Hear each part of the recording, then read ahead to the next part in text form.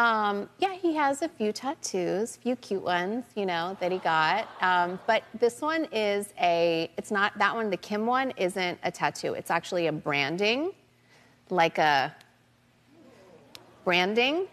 Because, let me explain it, because he wanted to do something that was really different. Because, like, okay, first tattoo he got, I was like, oh, so cute, thank you, oh my God. Se- you know, second, whatever, I'm like, oh, that's so cute. But, like, that's what tattoo people do, right? Like, they get tattoos of what's going on in their life and, Wait, back So I up. was like, back am up. I- back up? special? You said first tattoo.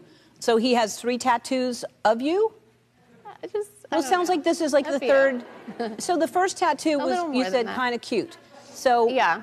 is it uh, your name or is it like a little? The branding is my name. Right. The The- other ones are like cutesy things. I think my favorite one, it says here, it says, my girl is a lawyer. And that one's really cute. wow.